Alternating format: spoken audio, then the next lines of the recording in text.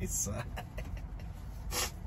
またカナダでね、まあ、プリンス・ジョージっていうところで、電話のね、SIM カードを変えて、契約もして、いくらだったっけ？78ドル40セント。これプリペイドのやつを入れたんですけど、YouTube とか使えませんっていうやつですね。オーマイマイ。で、じゃあね、リーファンできないかとかって言ったら、リーファンもできないって言ってました。こんなサービス 聞いたことがないっていうやつですね。まあ、しょうがないかな。でね、外がね、あの、煙たくなってきました。ちょっと待ってください。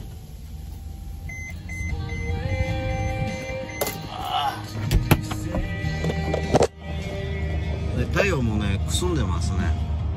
だからねもう本当は あれあれ本当はですねもうちょっとあちこちカナダを見ようかなとかって思ってたんですけどまず電話 もう Wi-Fi 探して歩くっていうのもねあいうえおって感じなんでこれからもうねバンクーバーに向かってそれからアメリカに入ろうかなとか 思ってます。せっかくなのにね電話のプログラムがあくさみよというやつですね。ああもうねカナダに入ってから かっこいい。BM でした。あのー、一切使えなくて T モービル。でねあのアラスカで大丈夫だよって言って言われて じゃあとかって思ってやったら今度は こっちでも使えませんっていうやつですね。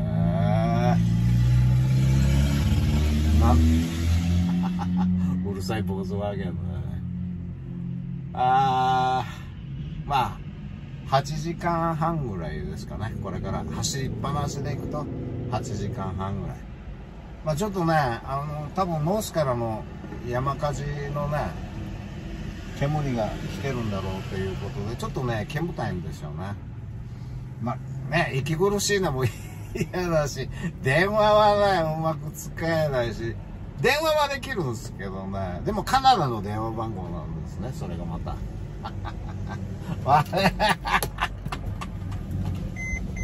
もうすいませんピピピがうるさくて。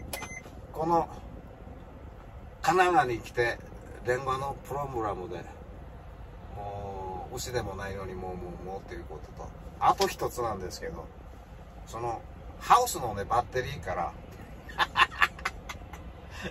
あのインバーターっていうやつかな。あの12ボルトからあの普通のあの家用のやつに変える DC と DC チャージャーじゃなくて変換器があるんですけどこれがねまだ動かなくなって今冷蔵庫が止まりました。もうねカナダにいるなっていうことだと思いますね。えー、このプリンス・ジョージからねまず離れます。えっ、ー、とこれからバンクーバーに向けて進みます。その前にこれだけはアップしておこうかな。アクサリ よ！アクサリよ！アクサリよ！っていうやつですね。まあでもね、まあいろんなハプニングも後から見るとまたいいスパイスになると思いますので。笑ってごまかす。あし、また野菜、またベジタブル。あ、ピッピッピッ、あ、ピッピッピッ。あ、頑張れ頑張れ。始まった野菜。皆さん、どうも。風にも負けず、雨にも負けずとかっていたいですけど。お金は返ってこないし、電話は繋がらないし、電話は繋がるか。YouTube は繋がらないしね。まあもう、牛でもないのに、もうもうもうっていうやつですね。あ、しょうがない。ということです。あしまたやさ。またデジタルピッ